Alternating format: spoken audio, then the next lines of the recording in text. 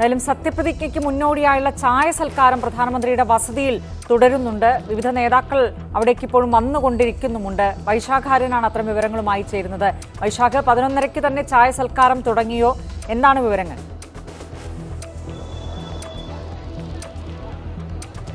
പതിനൊന്നരയോട് കൂടി നേതാക്കൾ എത്തിത്തുടങ്ങി പന്ത്രണ്ട് മണിക്ക് കൃത്യം ചായ സൽക്കാരം തുടങ്ങി എന്നാണ് ഇപ്പോൾ ലഭിക്കുന്ന വിവരം. ഞാനിപ്പോൾ നിൽക്കുന്നത് പ്രധാനമന്ത്രിയുടെ വസതിയായിട്ടുള്ള ലോക് കല്യാൺ മാർഗിലെ ഏഴാം നമ്പർ വസതിക്ക് മുന്നിലാണ്. ഇവിടെയാണ് ഈ ചായ സൽക്കാരം നടക്കുന്നത്. രാവിലെ തന്നെ ഇവിടേക്ക് എത്തുന്നതിന് വേണ്ടിയിട്ടായിരുന്നു നിയുക്ത മന്ത്രിമാർക്ക് ലഭിച്ചിരിക്കുന്ന നിർദ്ദേശം. ഏതായാലും സുരേഷ് ഗോപിയെ പോലെ വളരെ വൈകി മാത്രം അറിയിപ്പ് ലഭിച്ചവർക്ക് ഇവിടേക്ക് എത്താനായിട്ടില്ല എന്നാണ് ഇപ്പോഴത്തെ സംഭവ വികാസങ്ങളിലൂടെയൊക്കെ വ്യക്തമാകുന്നത്. ഏതായാലും അമിത്ഷാ രാജ്നാഥ് സിംഗ് ജെ പി നദ്ദ അന്നപൂർണ ദേവി അർജുൻ റാം മേഘ്വാൾ തുടങ്ങിയ ബി ജെ പി നേതാക്കൾ എല്ലാവരും തന്നെ ആദ്യമേ തന്നെ ഇവിടേക്ക് എത്തി. രണ്ടാം നിരയായിട്ട് ജ്യോതിരാദിത്യ സിന്ധ്യ മനോഹർലാൽ ഖട്ടർ അതുപോലെ തന്നെ രക്ഷാ ഖഡ്സെ നിത്യാനന്ദ റായ് ഹർഷ് മൽഹോത്ര തുടങ്ങിയ നേതാക്കളും ആർ എൽ ഡി നേതാവ് ജയന്ത് ചൌധരി തെലങ്കാനയിൽ നിന്നുള്ള നേതാക്കളായിട്ടുള്ള ജി കിഷൻ റെഡ്ഡി അതുപോലെ തന്നെ ബണ്ടി സഞ്ജയ് തുടങ്ങിയ നേതാക്കളും എല്ലാം തന്നെ ഇവിടേക്ക് എത്തി.